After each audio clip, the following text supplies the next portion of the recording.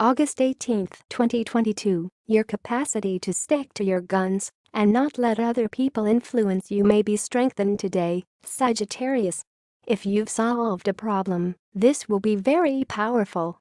You might discover that people frequently try to influence your choices, but not today. You'll experience new strength as a result of how well things are going for you. Go with your gut. Be safe and take care. Until our next time.